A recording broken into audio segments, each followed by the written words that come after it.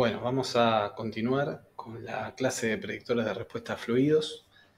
Eh, habíamos visto hasta el momento que cuando nosotros queríamos saber si al paciente eh, le beneficiaba pasar un bolo de fluidos en un paciente en shock, teníamos que evaluar si este bolo de fluidos le aumentaba el volumen sistólico o el gasto cardíaco. Ya habíamos visto cómo se ejecuta una prueba de fluidos, las ventajas de hacer una mini prueba de fluidos. Habíamos visto los métodos estáticos y las ventajas y desventajas que tienen estos métodos a la hora de predecir la respuesta a fluidos. Y habíamos dicho que justamente los parámetros estáticos son muy inferiores a los parámetros dinámicos a la hora de predecir la respuesta. Y nos vamos a centrar en esta parte de la charla, que por ahí es la más ardua, en los métodos dinámicos de respuesta a fluidos. Primero, volviendo al ejemplo de, un avión o de un cohete que, que, está despegando o aterrizando, en el ejemplo anterior, en los métodos estáticos, habíamos dicho que nosotros sacábamos una foto del estado hemodinámico y con eso buscábamos saber qué es lo que va a pasar después.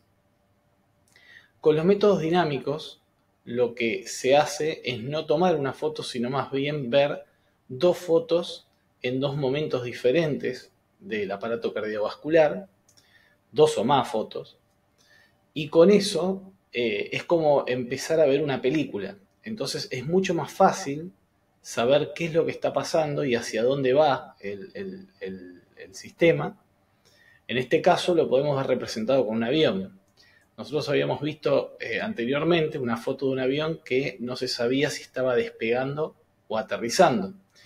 Pero si nosotros vemos, por ejemplo, estos dos momentos, estos tres momentos, podemos ver o, comprender fácilmente que este avión efectivamente está eh, despegando. Y esto lo podemos hacer porque vemos una secuencia en donde primero está en una pista, después está levantando el morro y finalmente ya está en el aire. Si el camino fuera el contrario, diríamos que está aterrizando, pero no habría mucha duda. Entonces, acá lo importante en los métodos dinámicos no es la foto, sino la película, por así decirlo. Lo que busca es hacer una valoración funcional. Entonces, es importantísimo entender que cuando uno utiliza un método dinámico, ya no nos importan los valores absolutos. O sea, acá no importa qué tan eh, llena está la precarga del ventrículo, ni tampoco qué tan lleno están los vasos sanguíneos, ni el nivel de volemia pasa a ser totalmente secundario esos datos, porque acá lo que a nosotros nos interesa saber es funcionalmente cómo responde el corazón a pequeñas variaciones transitorias de la precarga. Entonces, eh, lo que hacemos es básicamente, o lo que nos van a brindar los métodos dinámicos, no es saber la precarga ni la volemia, sino saber si estamos en la zona de precarga dependencia o de precarga independencia de la curva de Frank-Starling. Y por lo tanto, lo que nos van a permitir es evaluar si el paciente tiene reserva de precarga antes de administrar el bolo de fluidos. Y esto es fundamental porque justamente lo que nosotros intentamos hacer con los métodos es antes de pasar el fluido darnos cuenta si el paciente va a responder o no. Y en este sentido los métodos dinámicos son excelentes. Con respecto a una posible clasificación de los métodos dinámicos, eh, los podríamos categorizar según el mecanismo que utilizan. Aquellos que utilizan variabilidad respiratoria de la precarga, o sea, utiliza las interacciones cardiopulmonares para generar variaciones transitorias de la precarga. Y después tenemos métodos que utilizan otras herramientas como el test de oclusión de fin de expiración o la elevación pasiva de las piernas. Todos los primeros comparten en líneas generales el proceso fisiopatológico por el cual podemos evaluar la respuesta a fluidos, mientras que los últimos dos son diferentes en cuanto al método que utilizamos para hacer variar la precarga. Vamos a empezar con los primeros. Los primeros los podemos evaluar de muchas maneras. Uno es, por ejemplo, utilizando una línea arterial en donde podemos medir variabilidad de la presión del pulso o variabilidad de la presión sistólica. También si tenemos un monitor de gasto cardíaco, podemos evaluar la variabilidad del volumen sistólico. Si disponemos de una ecocardiografía, podemos evaluar la, variabilidad de eh, la integral velocidad-tiempo, de la velocidad máxima del tracto de salida del ventrículo izquierdo o de la velocidad máxima en la aorta. Y también, que es mucho más fácil de realizar que una, que una ecocardiografía clásica, la variabilidad respiratoria de la vena cava inferior. Vamos a ir de a poco abarcando todos estos métodos. Vamos a empezar, como dijimos, aquellos que utilizan las interacciones cardiopulmonares para evaluar las variaciones respiratorias que se producen sobre la precarga y cómo responde el corazón a estas variaciones. En este dibujo, lo que, lo que está representado es la curva de presión. En este eje estaría la presión de la vía aérea y en este eje está el tiempo. Así es como se eleva la presión durante la inspiración y acá hay una pausa inspiratoria y luego viene la expiración. Los métodos de variabilidad respiratoria de la precarga lo que usan es el efecto que genera la presión positiva durante la inspiración y los efectos cardiopulmonares que genera esta presión positiva intratorácica para generar pequeños cambios en la precarga y ver cómo se reflejan en el volumen sistólico. Entonces, ¿qué es lo que ocurre? Durante la inspiración hay transitoriamente un un aumento de la poscarga del ventrículo derecho junto con una disminución de la precarga del ventrículo derecho y al mismo tiempo hay un aumento de la precarga del ventrículo izquierdo y una disminución de la poscarga del ventrículo izquierdo. Esto va a generar que durante la inspiración o inmediatamente cuando termina la inspiración, en esos primeros latidos, después de la inspiración, el corazón transitoriamente va a disminuir el volumen sistólico del ventrículo derecho y aumentar el volumen sistólico del ventrículo izquierdo. Esto dura muy poquito, dura uno o dos latidos y posteriormente lo que, lo que ocurre es que pasa lo contrario. va bajando la precarga del ventrículo izquierdo y esto va a generar una baja del volumen sistólico del ventrículo izquierdo. Esto que parece medio complicado así en el aire es más fácil de entender sobre la curva de Frank-Starling. Cuando un paciente está ventilado y se somete a la presión positiva durante la inspiración, lo que ocurre es que hay pequeñas variaciones en la precarga que están representadas con esta flecha, o sea, durante la inspiración la precarga sube momentáneamente y luego vuelve a bajar, sube momentáneamente y luego vuelve a bajar. Y si estamos en una zona de precarga dependencia, esta variación en la precarga va a generar variaciones en el volumen sistólico. Estas variaciones son transitorias, se dan uno o dos latidos y luego vuelven a bajar. ¿Cómo se ve en la curva de presión arterial? Bueno, de esta manera. Fíjense, acá tenemos representado la presión arterial del paciente. Esto es lo que vemos con una línea de tensión arterial, colocada por ejemplo en la arteria radial o en la arteria femoral. Y vamos a ver que durante la inspiración, transitoriamente, hay un aumento de la presión sistólica con respecto a la presión diastólica. Y luego este efecto se va perdiendo para ser mínimo durante la expiración y volver a aumentar en la próxima inspiración. Este efecto es más importante o es más marcado justamente cuanto más reserva de precarga tenga el corazón y es menos marcado cuanto menos reserva de precarga tenga el corazón. Entonces, a través de diferentes métodos, nosotros vamos a aprovechar estas variaciones que se producen en el volumen sistólico y en la curva de presión arterial para medir la variabilidad que se produce entre la inspiración y la expiración.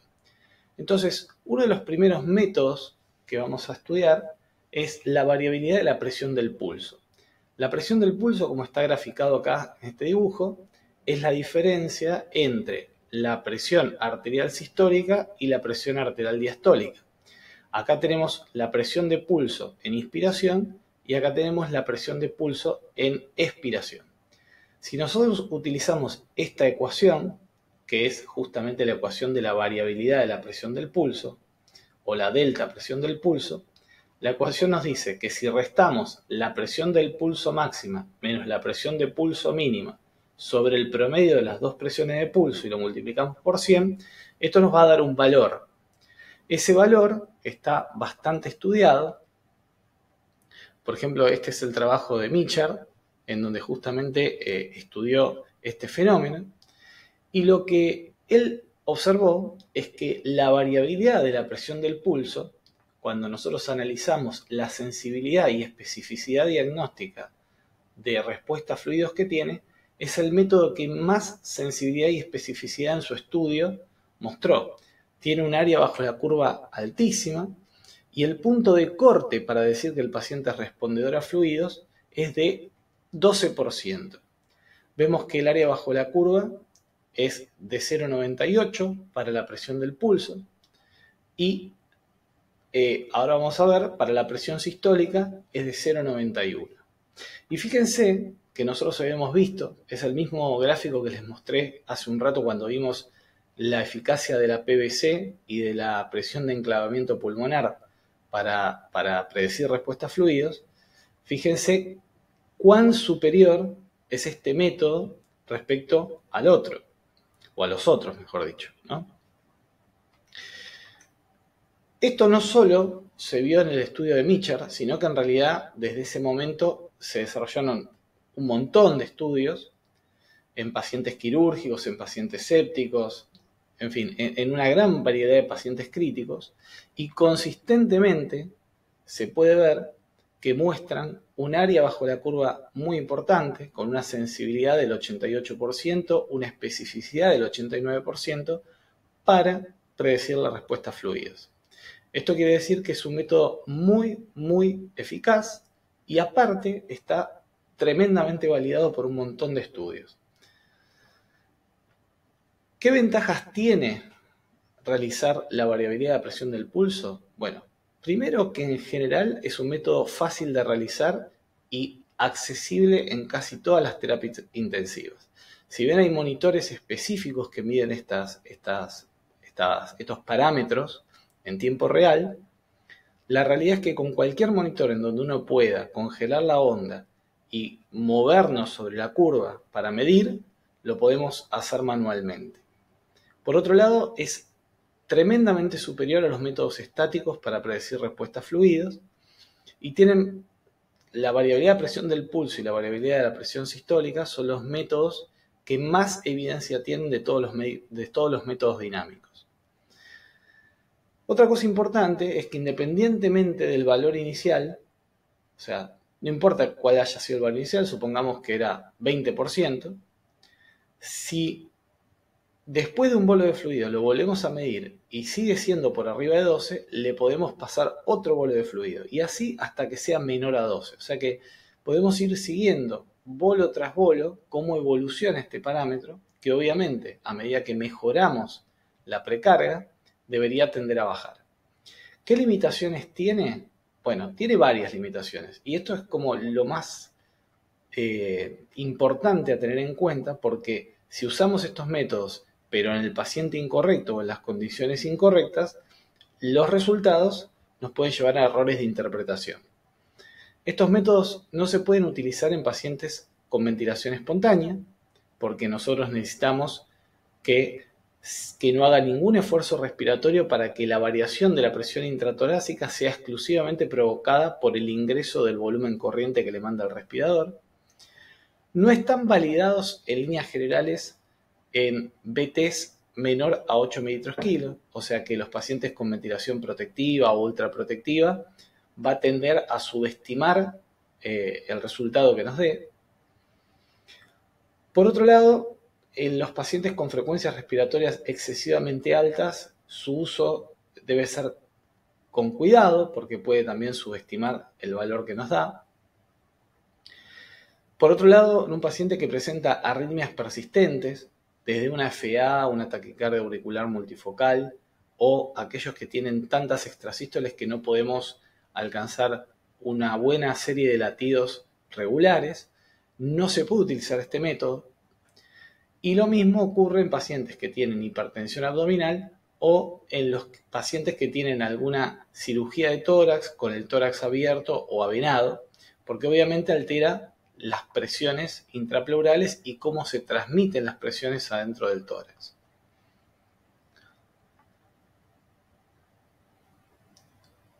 Algunos estudios se han realizado eh, de variabilidad de la presión del pulso en pacientes con ventilación protectiva, lográndose una eficacia diagnóstica similar, pero con un valor de corte mucho menor. Nosotros habíamos dicho que se consideraban respondedores cuando la variabilidad de la presión del pulso era mayor a 12, y en este estudio, por ejemplo, se vio que el valor de corte óptimo cuando el paciente usa ventilación protectiva es con valor de corte de 6.5%.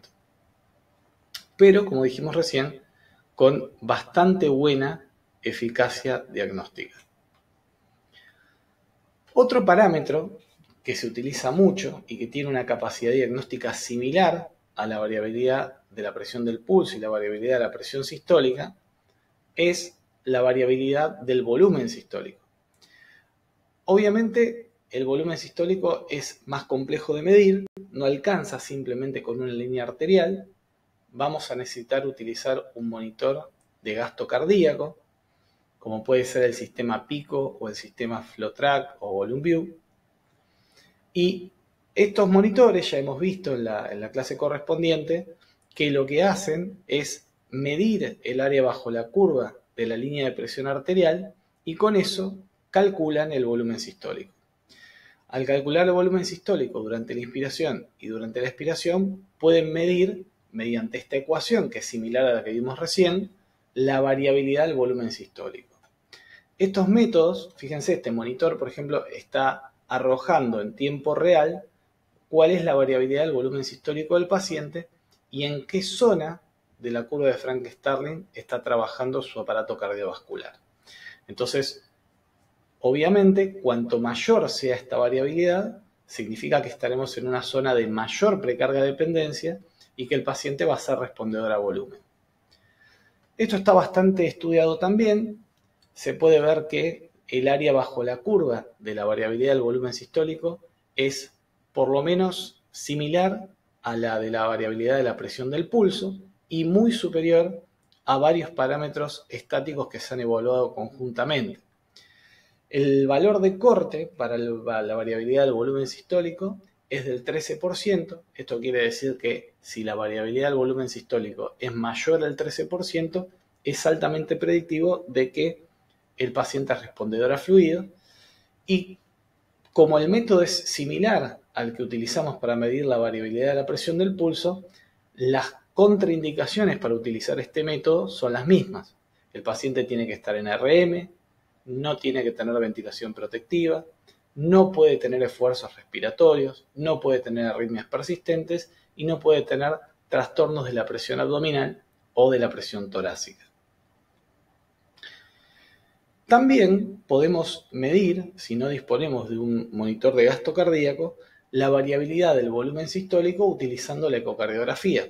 Ya hemos visto en otra charla cómo podemos estimar el gasto cardíaco utilizando la ecocardiografía, pero em, ya sabemos que la parte variable, o sea, lo que varía en un paciente, eh, ya que su eh, área del tracto de salida es constante, lo único que varía entre un latido y otro latido en un paciente es la integral velocidad-tiempo o lo que habitualmente llamamos el BTI, que es la distancia que recorre el jet de sangre que eyecta el tracto de salida.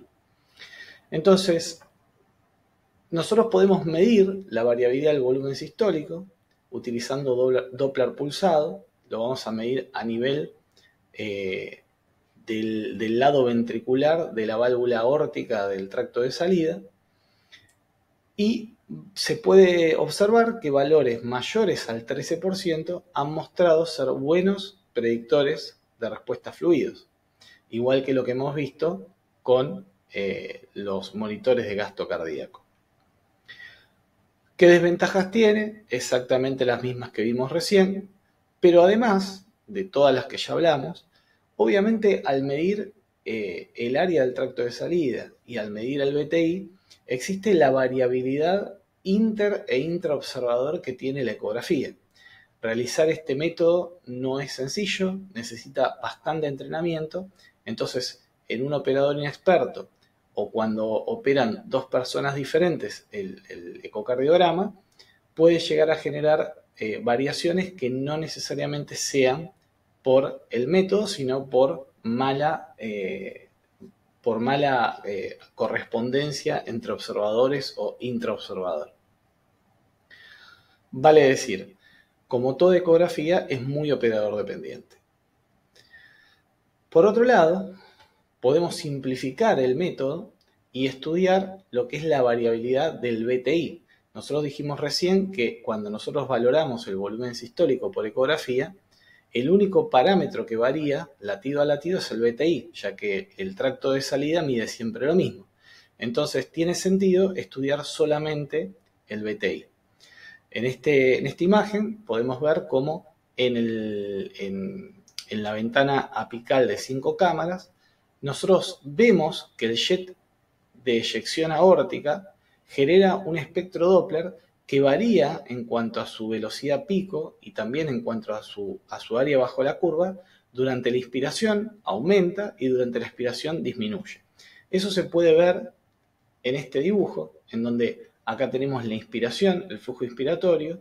Podemos ver que producto de las interacciones cardiopulmonares, como vimos recién en la curva de presión arterial, la presión va a aumentar si hay precarga dependencia, pero al mismo tiempo reflejado en el flujo del tracto de salida por ecografía o por Doppler, mejor dicho, vemos un aumento transitorio de la velocidad máxima y del área bajo la curva, mientras que en la expiración este fenómeno es mucho menor. Entonces, si nosotros hacemos el área bajo la curva, el ecógrafo nos va a calcular la integral velocidad-tiempo con Doppler pulsado y ha mostrado que valores mayores al 20% de variabilidad entre este punto y este punto son buenos predictores de la respuesta fluida. También podemos simplificar todavía más el método con menos evidencia de lo que vimos anteriormente, que es simplemente en, un paciente que estamos insonando eh, y poniendo el Doppler pulsado en el tracto de salida del ventrículo izquierdo, vemos nuevamente la variación respiratoria del flujo de salida aórtico y podemos ver que la velocidad pico varía entre inspiración y expiración. Es mayor en la inspiración y es menor en la expiración.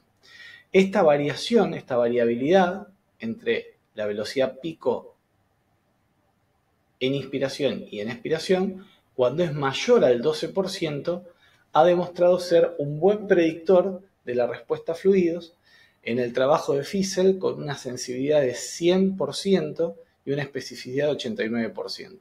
Vale aclarar, como dijimos recién, esto está eh, estudiado en este trabajo y tal vez en alguno más, pero no es un método que está ampliamente demostrado, por lo cual hay que utilizarlo con cuidado.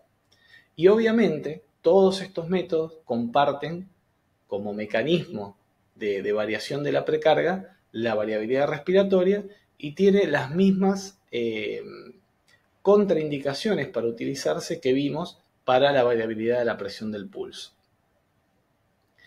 Acá ya cambiamos un poco, lo que vamos a ver es la variabilidad respiratoria del diámetro de la vena cava inferior.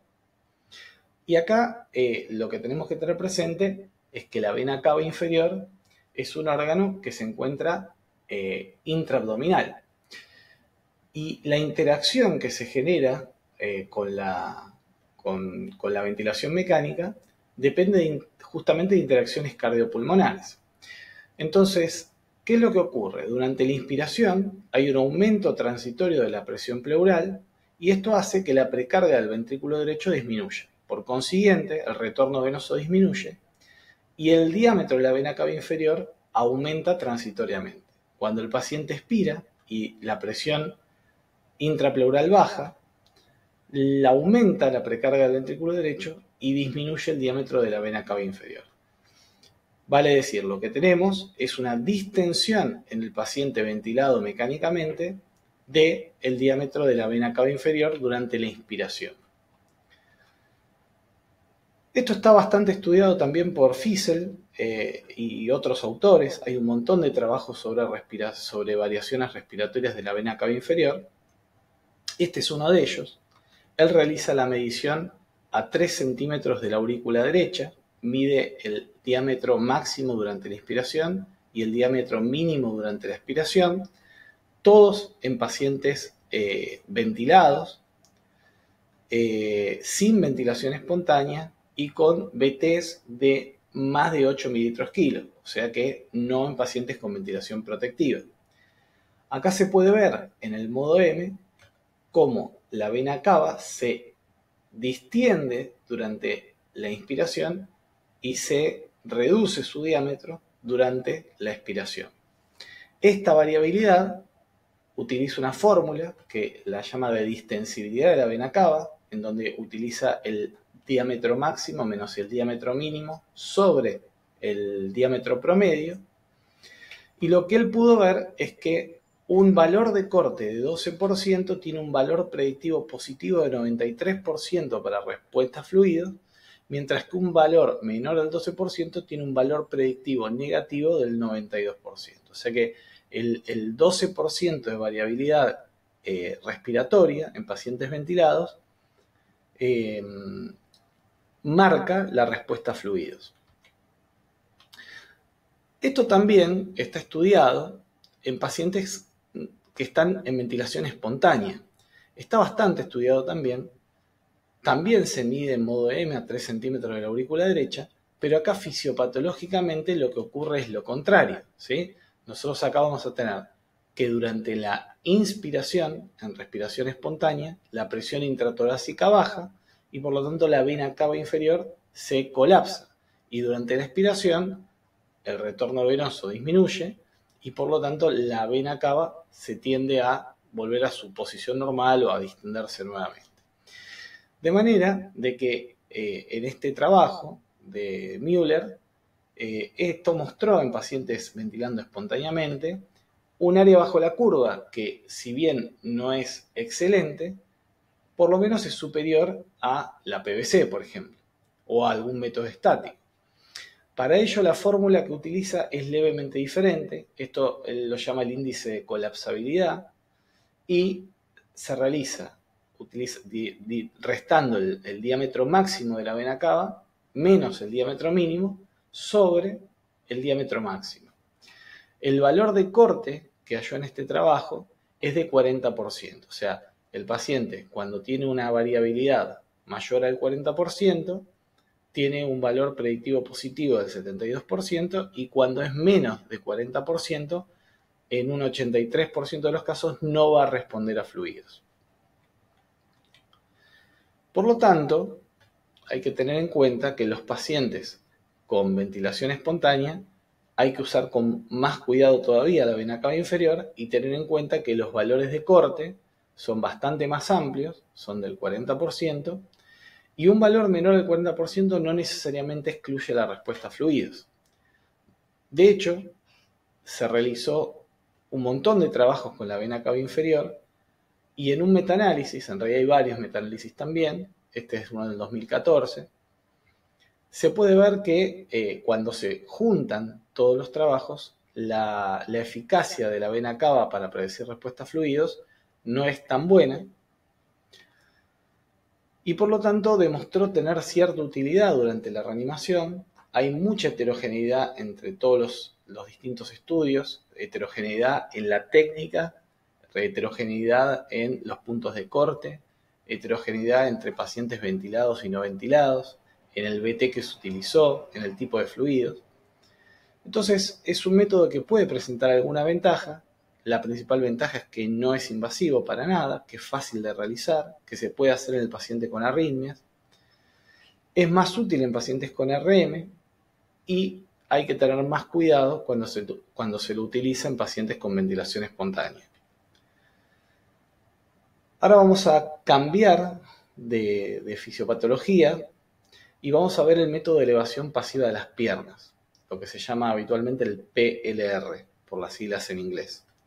Esto consiste en pasar a un paciente de la posición semisentada a una posición acostada con las piernas elevadas 45 grados. Y esto tiene que ser durante 2 a 3 minutos. Cuando generamos la elevación pasiva de las piernas, lo que hacemos es transferir aproximadamente 300 mililitros de sangre desde las extremidades hacia la circulación superior y esto aumenta en forma reversible la precarga del ventrículo izquierdo. Básicamente lo que hacemos es simular una mini prueba de fluidos sin necesariamente administrar un bolo de fluidos, sino que el, bolo de fluidos es una autotransfusión del paciente desde las piernas al. Y lo importante es que, a diferencia de haberle administrado un bolo de fluidos, esto es reversible. Cuando volvemos a poner al paciente en la posición semisentada, la sangre vuelve a las extremidades inferiores y el efecto se acaba. Es muy útil en pacientes en las que no podemos utilizar los métodos eh, con variación respiratoria, como son los pacientes con ventilación espontánea, los pacientes con arritmias cardíacas, los pacientes con ventilación protectiva o los pacientes con una compliance pulmonar muy baja. Monet describe muy bien cómo realizar el método. Tenemos que partir del paciente con una posición semisentada y lo ideal, dice él, es que tenga conectado un monitor de gasto cardíaco continuo que mide el gasto cardíaco en tiempo real. A partir de ahí, una vez que medimos el gasto cardíaco y el paciente está estable, ponemos al paciente en posición de elevación a 45 grados de las piernas y vamos viendo en el monitor si efectivamente con esta maniobra aumenta el gasto cardíaco. Si notamos que el gasto cardíaco aumenta, lo que tenemos que ver es que el efecto se revierta cuando lo volvemos a poner en posición semisentada si efectivamente el gasto cardíaco vuelve a bajar cuando lo sentamos de nuevo al paciente, entonces lo podemos, confirmamos que es respondedor a fluido y lo podemos expandir. ¿Cómo verificamos efectivamente que al levantar las piernas mejora el gasto cardíaco? Bueno, hay varias formas de hacerlo. La más validada, como dice Monet, es con un monitor continuo de gasto cardíaco y se observó en varios estudios que una diferencia del gasto cardíaco del 10% cuando le levantamos las piernas es predictor con muy buena sensibilidad y especificidad de respuesta a fluidos. Lo mismo podemos hacerlo utilizando la ecocardiografía. Por ejemplo, el BTI. Está demostrado que una variación del BTI mayor al 10% cuando le levantamos las piernas es un buen indicador de respuesta a fluidos. Y más novedoso, con menos nivel de evidencia, podemos medir la presión eh, de expiración de, fin de expiración de dióxido de carbono y ver cuánto varía la, la ETCO2 cuando le levantamos las piernas al paciente. Lo que se ve es que si la presión de fin de expiración de dióxido de carbono aumenta por lo menos un 5% o más, o al menos 2 milímetros de mercurio cuando le elevamos las piernas, esto es un buen indicador de respuesta a fluidos. Con respecto a la elevación pasiva de las piernas, como dijimos, es un método muy fiable, que tiene muy buena sensibilidad y especificidad. No lo afectan un montón de cosas que vimos recién que nos permiten realizarlo en casi todos los pacientes. Y aparte tampoco es eh, sustancialmente importante qué tipo de ventilación tiene el paciente, o sea, lo podemos hacer con, con RM, sin RM, no importa qué tipo de fluido eh, le pasemos al paciente, no importa eh, cuál es la posición inicial antes de la maniobra, mientras sea una posición semisentada, y tampoco importa mucho cuál es la técnica de medición que utilicemos del gasto cardíaco. Podemos hacerlo con un monitor o podemos hacerlo con ecocardiografía. Sí es importante tener en cuenta de que si bien uno muchas veces cuando no tiene un monitor de gasto cardíaco puede utilizar como sucedáneos del gasto cardíaco o, de la respuesta a fluidos, levantarle las piernas al paciente y ver si varía la variabilidad de la presión del pulso, por ejemplo, Estos criterios hay que utilizarlo con mucho cuidado, o mejor dicho, no utilizarlos porque son menos fiables. Hay trabajos que muestran que podemos utilizarlo como, sucedáneo de, la PLR, pero eh, tienen muy bajo nivel de evidencia. Y por otro lado, tener en cuenta de que el gasto cardíaco hay que medirlo antes, durante y después de la maniobra para confirmar que realmente el paciente es respondedor. Y por último, para terminar esta charla, vamos a hablar del test de oclusión de fin de expiración, el que la bibliografía se, se abrevia EEO, que este también es un método que utiliza las interacciones cardiopulmonares, pero de una manera distinta. Acá nosotros tenemos la curva de eh, flujo del respirador en función del tiempo. Vemos que acá hay un paciente que venía ventilando y de golpe acá viene la expiración y acá aplicamos una pausa expiratoria de fin de expiración. Está estudiado que si nosotros realizamos una pausa expiratoria prolongada de al menos 15 segundos, hay trabajos que están entre los 15 y los 30 segundos de pausa, esto va a aumentar transitoriamente el retorno venoso y la precarga. Nosotros habíamos dicho justamente que durante la inspiración aumentaba el volumen sistólico del ventrículo izquierdo transitoriamente y que durante la expiración, acá debería decir expiración, discúlpenme, bajaba transitoriamente el volumen sistólico. Ahora bien, si esto lo prolongamos en el tiempo, lo que ocurre es que deja de variar la presión intrapleural, queda solo la PIP. Esto genera que aumente paulatinamente el retorno venoso y esto va a llevar a mayor precarga del ventrículo derecho y del ventrículo izquierdo y finalmente se va a traducir en un aumento del volumen sistólico siempre que el paciente tenga reserva de precarga. ¿Cómo eh, dice Monet que deberíamos realizar este método? Bueno, Nuevamente partimos con un paciente en posición semisentada, en donde por un lado estamos monitoreando las curvas del respirador y por otro lado lo tenemos conectado a un monitor de gasto cardíaco, que nos va arrojando el gasto cardíaco en tiempo real. En determinado momento realizamos la maniobra de pausa expiratoria de fin de expiración, con lo cual generamos 15 segundos al menos de pausa, y vamos a ir viendo que a medida que transcurre el tiempo, si el paciente es respondedor, el gasto cardíaco va a empezar a aumentar. Posteriormente, tenemos que volver a ventilar normalmente al paciente y ver que nuevamente el gasto cardíaco baja y se estabiliza en el valor previo y entonces podemos administrar tranquilamente el fluido porque ya vimos que al aumentar transitoriamente la precarga el paciente es respondedor a volumen por aumento del gasto cardíaco. Básicamente, el, método se interpreta como que un aumento del gasto cardíaco del 5% más predice la respuesta a volumen.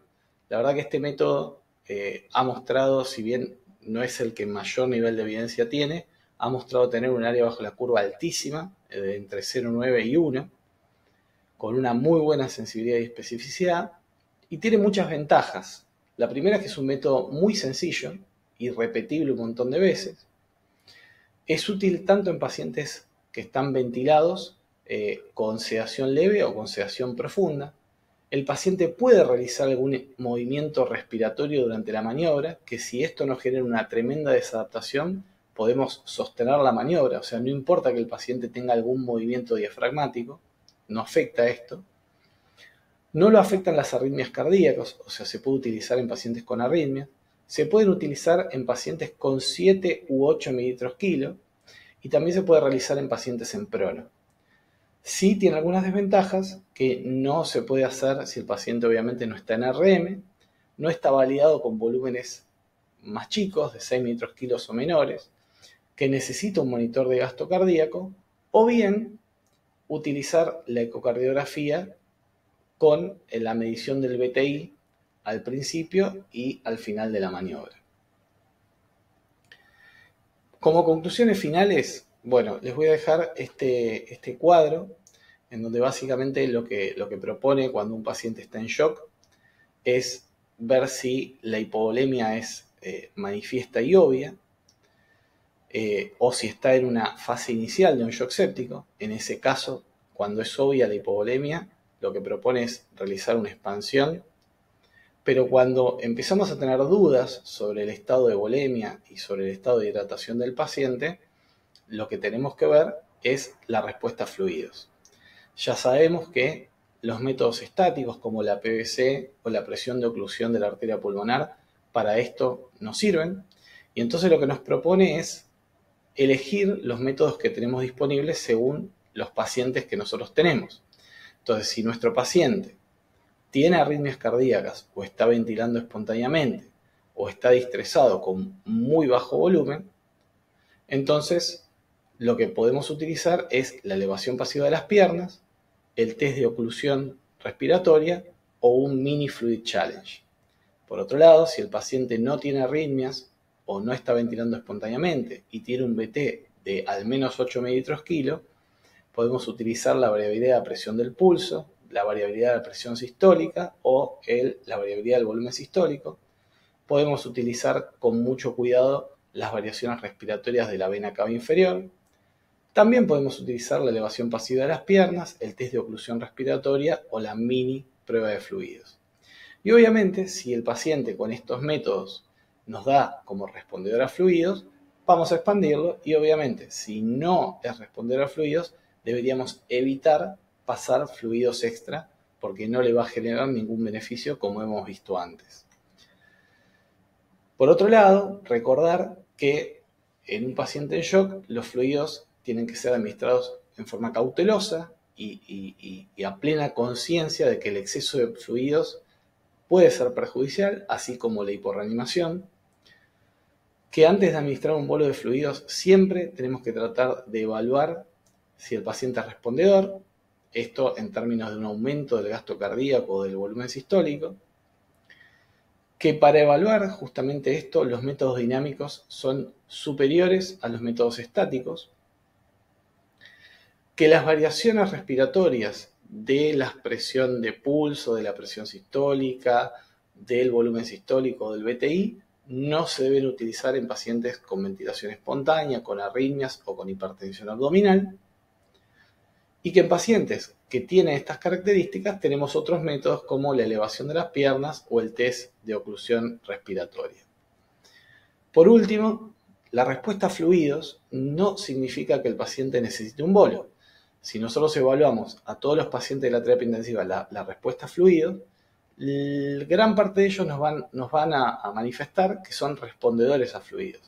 Sin embargo, si el paciente no está chocado o incluso si está chocado, no tiene mala perfusión periférica, no tiene grandes dosis de noradrenalina, no tiene mala diuresis, tiene un buen sensorio, realmente no, no hay una necesidad de optimizar la precarga. Y esto es el último punto y tal vez el más importante. Si bien podemos llevar a los pacientes a una precarga tan alta que lleguemos al tope de la curva de Frank-Starling, esto en realidad tiene sus riesgos, tiene riesgo de edemas, como hemos visto previamente, y por lo tanto hay que evaluar los riesgos y beneficios de hacer esa optimización.